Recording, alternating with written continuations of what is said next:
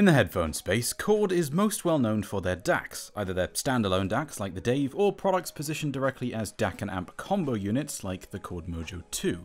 But their company origins and much of their experience is in the realm of analog amplifiers and preamplifiers, with their Ultima lineup being quite well regarded in the speaker world. And now they're bringing some of that tech to the headphone space with the Alto, a dedicated desktop headphone amplifier, borrowing some of the technology from their Ultima lineup and delivering some results that I found to be quite unique. The outside of the device is quite distinctly Chord, with the signature glowing glass marbles and controls, an indented volume control, and an overall design aesthetic that wouldn't be out of place on the USS Orville. The Alto takes both single-ended and balanced inputs, and offers four options for headphone outputs, including two quarter-inch jacks, one 3.5mm single-ended, and one 4.4mm pseudo-balanced output. Though it is important to note that the amplifier itself is a single-ended design, so the 4.4mm output is mostly just there for compatibility, but still nice to have.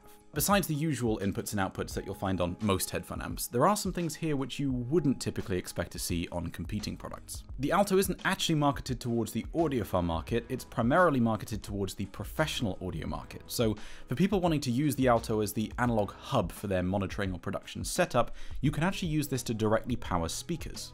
On the rear, you'll find some speaker taps, and the Alto can deliver a pretty beefy 50 watts into 4 ohms or 25 watts into 8 ohms to run passive speakers or monitors. Or if you're using active studio monitors, then you can also use the XLR lineouts, which can be toggled using the control on the front to run simultaneously with the headphone output, or swap between them so that only one or the other is actively in use. One other rather unique feature of the Alto is that it offers a 12 volt DC power output, meaning you can directly power another device like a DAC, a mini DSP, or a monitoring display directly from the Alto itself, which is a pretty neat thing to include. Taking a look inside, this is a tightly packed unit. There's a lot inside this little box. We can see filtering and regulation for the power supply, a huge amount of local energy storage for the amplifier, a motor for the potentiometer, yes, it is a motorized volume control. The heatsink covering the transistors is definitely needed, as this amplifier does run pretty toasty. You've got quite a lot of power packed into a small box here, and this is not a Class D amp or anything, this is a Class AB amplifier, so getting 50 watts into 4 ohms out of this is pretty impressive, but it does run a little bit hot.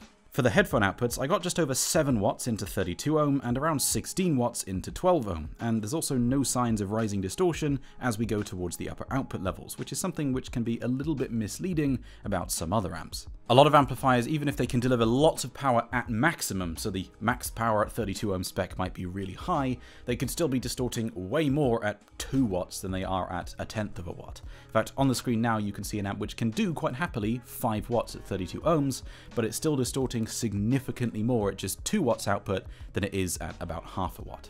But the Alto seems quite happy right up until it hits its maximum voltage limit. And in fact, if we change this graph to show the x-axis as output voltage in dBV rather than in watts, we can see that as the load impedance goes down, meaning it's a little bit more difficult and it demands more current for the same voltage, the overall level of distortion does go up a bit regardless of level, so it's a little bit load variant, but there isn't much change. And personally, I do feel that having an amplifier behave consistently with a headphone rather than distorting way more for that high amplitude drum kick because it's demanding a higher output than the lower level vocals or something is more important than whether or not this is going to change depending on what headphone you plug into it. But how does the Alto sound? What's it most similar to, and what headphones are best paired with it? Well, the Alto is what I describe as a slightly warm, slightly rich sounding amp. It's not a strictly speaking neutral amp, but what I really like about it and why I'm quite enthusiastic about it is that there aren't many amps which do a slightly warmer sound as well as this does. And what I mean by that is that a lot of the other slightly warmer sounding amps that I've tried tend to have some pretty significant drawbacks, particularly in terms of either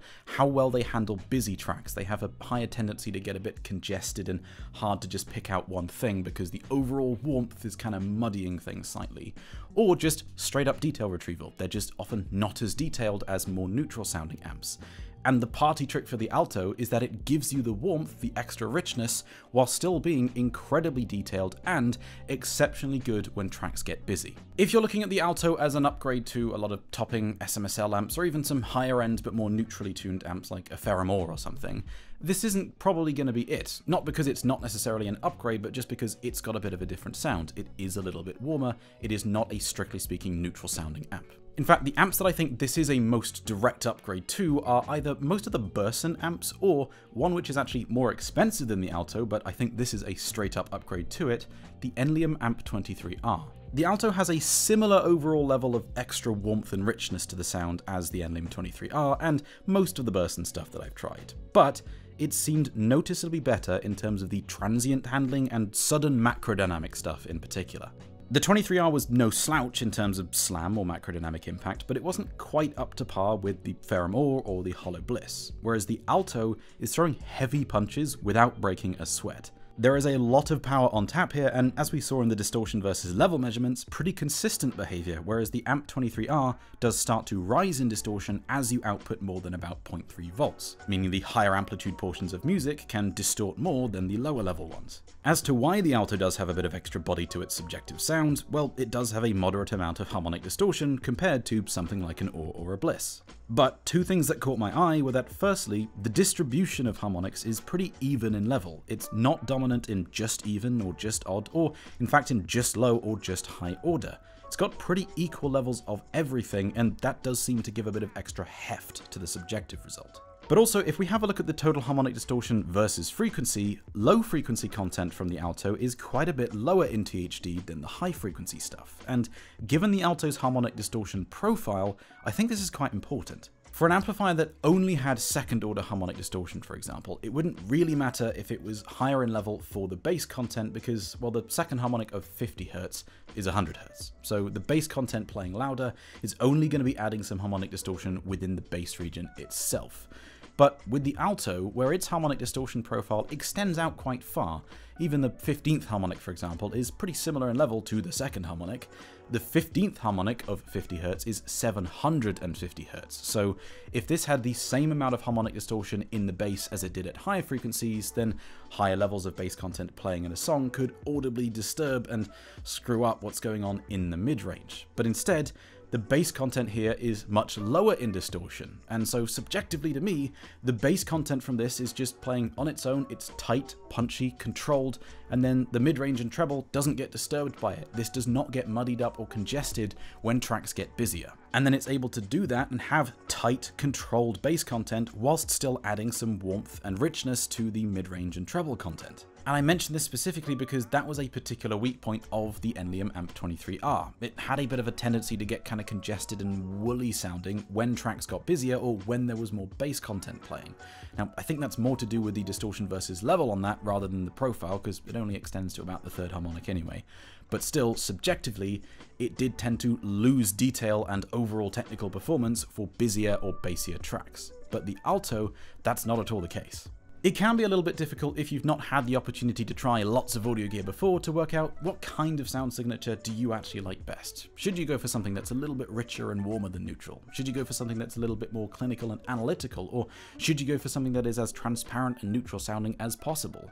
But if you buy through headphones.com, it doesn't matter because even if you decide 8 months down the line, actually, this isn't quite doing it for me, you can just send it back with no worries whatsoever. And if you want personal support trying to work out what's going to work best for you, or support with something that you've already got from someone who knows audio and is just as into this as you and I, not some chatbot or outsourced support agent, then headphones.com's live chat will connect you to their support staff, all of whom are just as into audio as you and myself. So if you like content like this and want to help support it, then consider headphones.com for your next purchase. On the alto, playing a song like La Esperanza by Claptone, the low frequency synths and heavy kicks are just playing on their own, nice, tight, controlled, punchy, and not particularly rich or warm compared to what I would expect them to sound like out of a Ferrum or an HM1, or something more neutral. The bass content out of this is particularly well defined and untouched. Meanwhile, the female vocals in this song are just allowed to play unobstructed, but with a little bit of extra richness and warmth to them, which particularly when paired with something like a Sennheiser HD800 works absolutely beautifully. The HIFIMAN Susvara also worked excellently on the alto, and in particular because of how open and airy the treble was, something that is also not often the case on warmer sounding amps. Again, the alto is giving me similar levels of overall added richness to the general tone of music compared to something like a Burson Soloist or an Enleum Amp 23R,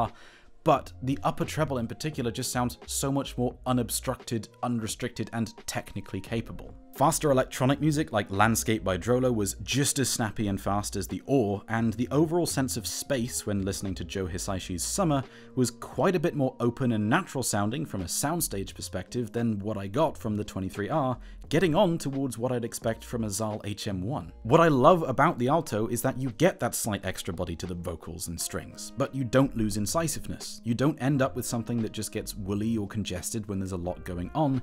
You get that warmth that a lot of people prefer, especially with headphones that can benefit from it, whilst maintaining the technical prowess and overall detail retrieval, especially for bassier or busier tracks that usually you do have to stick to a more neutral amp to retain. There's only really a couple other amps I can think of that do this mix of adding a bit of warmth whilst not losing incisiveness basically at all that I can think of, and most of them are actually tube amps. The Woo WA33, for example, does exactly this. It is a massively technically capable amp, but just sweetens up the treble ever so slightly.